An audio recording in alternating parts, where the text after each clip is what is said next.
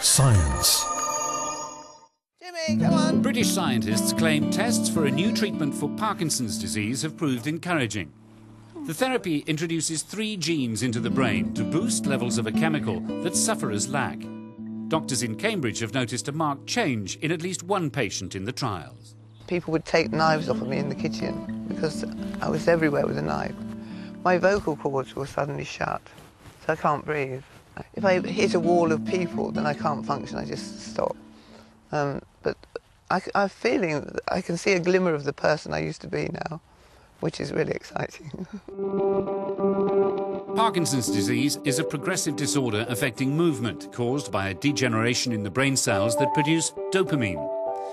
The new treatment delivers genes into the brain, converting cells into a kind of replacement dopamine factory, helping to control a patient's movements. Trials in a small handful of patients have been conducted at Cambridge University. It seems to be having an overall beneficial effect in smoothing out people's days, um, probably allowing a slight dose reduction in medication, um, and for some patients, a better sleep pattern and a better quality of life overall. The idea is that a single injection of gene therapy reduces the need for patients to consume large amounts of drugs. Researchers are still monitoring patients for side effects.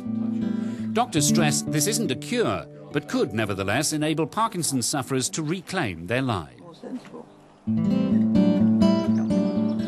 if you can treat the symptoms and control in some way the deterioration in what you can do, um, it has to be better for you, and it is.